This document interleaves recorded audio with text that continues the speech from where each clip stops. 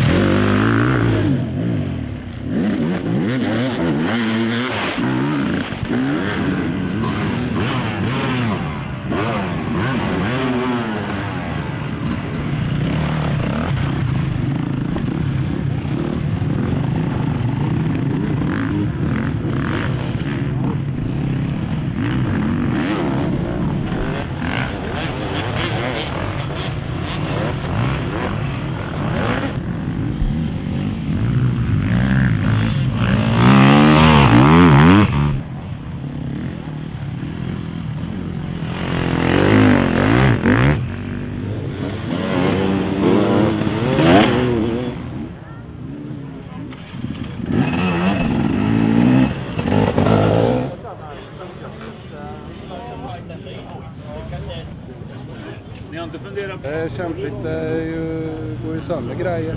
Ja. Man, han hade inte räknat. Han skulle ju haft med sig mycket mer reservdelar om han visste att det var någon extrem enduro med. Så det visste vi ju inte när vi kom hit.